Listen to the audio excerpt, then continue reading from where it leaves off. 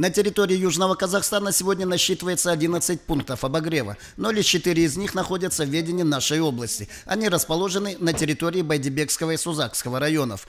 Обогревательный пункт Шибекбель готов принять несколько десятков человек. Здесь есть все для того, чтобы в течение нескольких дней переждать непогоду.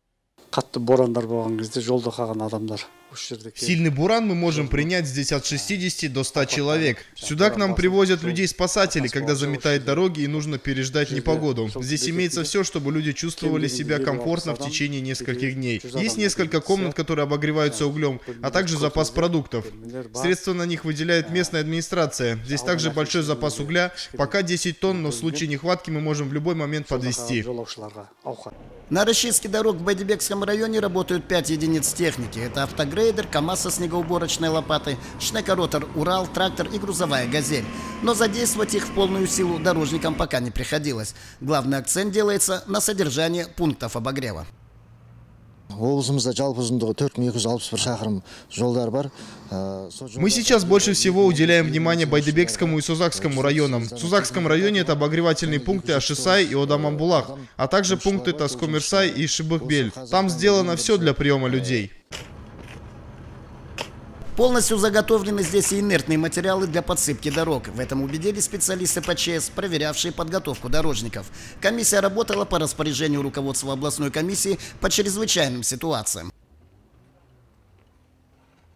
Э, ну, Нам, нами было э, обследовано, визуально обследовано 4 э, участка, 4, то есть э, обогревательных пункта. Это Шибыхбель Байдебекского района, э, Одаманбулак Байдебекского района, а также Таскуй-Мырсай Сузакского района. Также была просмотрена техника, подго- подготовленная техника, специальная техника для расчистки дорог от, от снежных заносов. Э, Техника готова, заметно, э, инертные материалы подготовлены. Это у нас э, получается песок, соль. Также еще используется в Сузакском районе шлак для э, подсыпки э, областных дорог для, э, для безопасного движения автотранспорта. За первые зимние недели жителям области воспользоваться пунктами обогрева не приходилось. Но специалисты по ЧС уверены, в случае необходимости эти спасательные объекты не подведут. Об этом говорит опыт прошлого года. Тогда обогревательные пункты области приняли около 150 человек. Даняр Худайбергенов, Марат Давлетов, Асылбек Махалбаев.